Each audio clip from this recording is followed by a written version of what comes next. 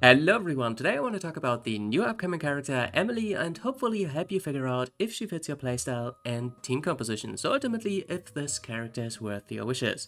Also at the time I recorded this video I didn't exactly know how to pronounce her name correctly, I think I got confused by the spelling so I apologize for that. First, let's quickly cover a skill kit, and the normal attacks aren't too interesting, so let's skip straight to the Elemental skill. It summons a totem-like thingy similar to Yae Miko's Elemental skill, which attacks nearby monsters. Luminous Case, I believe it is called. It also has a similar level up mechanic, which triggers when enemies have the burning status effect nearby. The damage at level 2 is also significantly higher, so burning is a priority. As for the burst skill, it summons a level 3 case, and similar to Dehya, it will pack up the Elemental skill 1 and resummon it after the burst skill is over. As for passive skills, the first one, your team takes less damage from burning, like the status effect itself, not burning enemies. As for the second one, the Luminous Case from her elemental skill will periodically deal extra damage when there are burning enemies around. And the last one, Emile does extra damage to burning enemies based on her attack stat. I think it caps out at 3000 if I'm not mistaken about this. At this point, it's probably very clear that you need some pyro characters in your team for burning. Without it, Emile loses a lot of damage, if not most of it. After this is pretty straightforward though, you press her buttons and that's about it. Like most sub DPS, she will just do her thing while being off field. Speaking of sub DPS, when Chiori released, one thing that was immediately noticeable was the very short range of her puppets and the difficulty of repositioning them due to her longer cooldown on the elemental skill. For Emile, this is also a real possibility, but it's obviously impossible to tell before actually playing her. If you have Chiori and this was really annoying to you, I would strongly advise to play Emile's free trial first and especially pay attention to this. Also, in general, play the trial first, obviously. I think this character is actually quite easy and straightforward to build because there are a lot of stats that you can basically ignore. I think her burst skill is quite cheap so energy recharge doesn't seem to be a high priority and the same can be said for elemental mastery because one, the burning reaction isn't super impressive and two, a lot of her skills have really nice modifiers so I think the scaling with crit, crit damage, attack, especially because both of her passive scales scale of it, and of course dendro damage for this character seem to be quite straightforward. So again, dendro damage, crit, crit damage, and attack are the ones that you care about.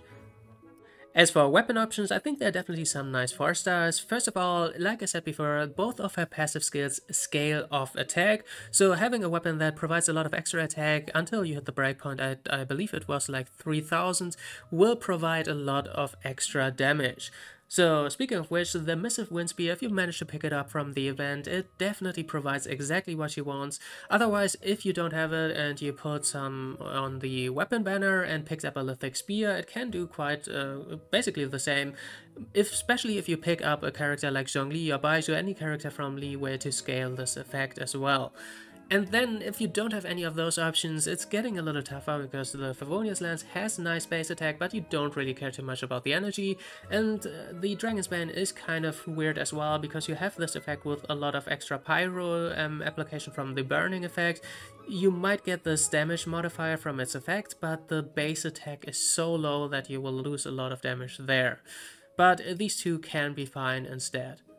As for artifacts, pretty straightforward again, just look for the substats mentioned earlier, and for main stats, I think for the Sands it's definitely attack percentage. For the Cup, this is probably theory crafter territory, but my guess would be Dendro damage is still higher value than attack percentage, and for the last slot, I think it's definitely crit or crit damage, I would be super shocked if it wasn't. Then for the set, I think Deepwood Memories can be quite good, especially if you go for Dendro Resonance with another character like Nahida, you get a lot of extra value. Otherwise, of course, the new set with the, um, where is it, the um, extra damage when you have burning enemies nearby is really nice as well for her.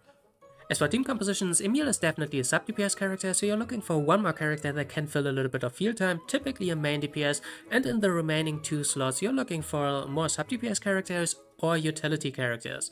As for archetypes, I think there are two I can mainly see. One is just full on burning, and the other one is the melt burn team. This came first up, I believe, with like something like Ganyu Nahida, and I think it was something like Dehya and uh, Zhongli maybe, I don't remember quite well, but you trigger a lot of burning between these two characters obviously, and then the Pyro, uh, sorry, Cryo main DPS character can do a lot of extra melt damage off it. And the good thing about Nahida here is when you have a Cryo main DPS and the one that is dealing the melt damage, then the extra elemental mastery is really good. If you do it the other way around, it is quite awkward if you have like Rosaria melting and a Pyro main DPS. When Arlecchino came around, I even suggested this team and said that a lot of the extra um, elemental mastery value from Nahida is lost here because the one that is melting here will be Rosaria, who is off field and doesn't get the extra elemental mastery.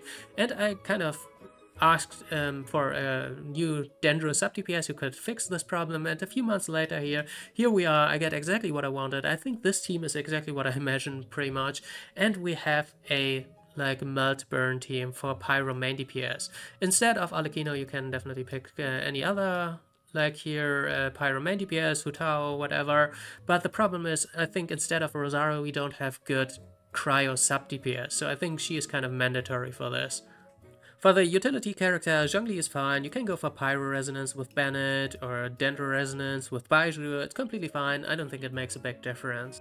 And then when it comes to full-on burning, I think the first team that comes to mind is definitely the full-on Lyney team with triple pyro character to maximum stack him with like uh, Xiangling and Bennett and of course Emil.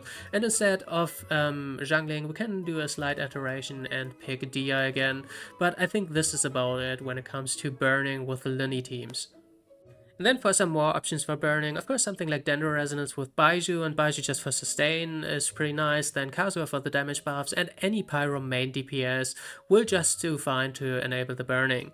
Instead of this, you can also go for uh, something like, for example, a Dendro main DPS with Alhaitham, you drop Baizhu and pick something like Thoma. Thoma is often used for Burgeon and has a very high elemental mastery build anyway, so of course you can also use it just for straight up burning to get extra damage on the burning. And instead of this, you can also drop um, something like Alhaitham for Sucrose, for she's often used in like taser teams as like an on-field character, so the same works for this as well. Instead of this, you can obviously also pick something like a Nahida again. Alright, we made it to the end. I hope this was somewhat helpful to figure out if this character appealed to you. I will get Emil and try her out, so stay tuned for that. Until then, have fun and bye bye.